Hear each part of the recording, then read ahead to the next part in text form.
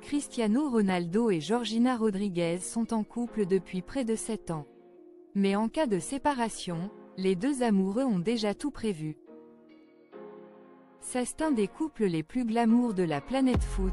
Cristiano Ronaldo et Georgina Rodriguez sont ensemble depuis près de 7 ans.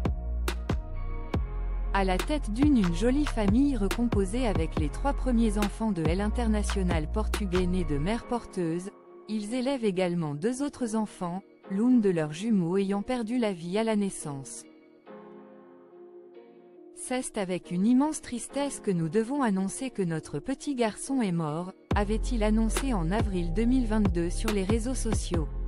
C'est la pire douleur qu'une part peut ressentir. Seule la naissance de notre fille nous donne la force de traverser ce moment avec espoir et bonheur. Une terrible épreuve pour le footballeur et sa compagne. Dans le documentaire Netflix qui retrace leur quotidien, Georgina Rodriguez était revenue sur ce drame. La vie m'a fait cadeau de tant de choses en si peu de temps. Cette année, j'ai vécu le meilleur et le pire moment de ma vie en un instant. Un gros morceau de mon cœur s'est brisé et je me suis demandé comment je pourrais continuer, avait-elle confié. Jai regardait dans les yeux de mes enfants et là, Jai vu que la seule façon de surmonter, c'était d'être tous ensemble. Et c'est ensemble qui l'ont appris à vivre avec cette douleur. Cristiano Ronaldo et Georgina Rodriguez signent un contrat en cas de séparation. Aujourd'hui toujours très unis, malgré les nombreuses rumeurs de séparation, Cristiano Ronaldo et Georgina Rodriguez ont tout prévu en cas de rupture et un contrat signé par les deux parties précise ce qu'obtiendrait la compagne du joueur portugais. Le magazine espagnol TV Guia a révélé que l'ancien attaquant du Real de Madrid a accepté de payer une pension à vie.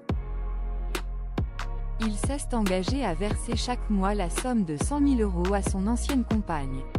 Il lui céderait aussi la villa Ronaldo située à Madrid. La propriété de 950 mètres carrés et qui possède un terrain de plus de 4000 mètres carrés a été achetée par CR7 en 2010 pour la modique somme de 5 millions d'euros. Bien que Georgina Rodriguez ne soit pas encore officiellement l'épouse de Cristiano Ronaldo, ce dernier l'a tout de même appelée sa femme dans le dernier spot publicitaire pour une marque de fitness. Quand je ne m'entraîne pas au club, J'aime m'entraîner avec ma femme à la maison. Parce que je peux la motiver et elle peut me motiver aussi, a-t-il déclaré. Pour l'heure, c'est l'amour qui prime et c'est bien là le principal.